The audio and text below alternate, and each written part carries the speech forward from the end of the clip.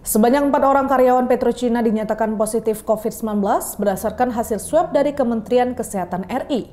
Pasien tersebut saat ini diisolasi di Rumah Sakit Siloam, Kota Jambi.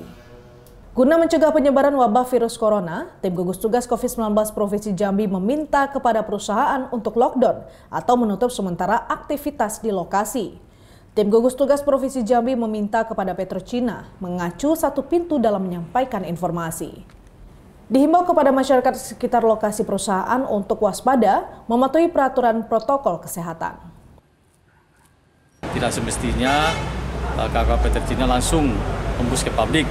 Kalau untuk penanganan kita mengapresiasi semua pasien yang dinyatakan oleh mereka ya dicatat dulu dinyatakan oleh mereka Petrocina positif itu sudah diisolasi di rumah sakit Selawam dan uh, di tempat isolasi di Batara. Namun kami tim gugus tugas provinsi tetap mengacu hasil pengumuman ke pusat seperti itu. Temuan klaster baru COVID-19 di Petrocina berdasarkan hasil swab yang dilakukan oleh perusahaan terhadap karyawan.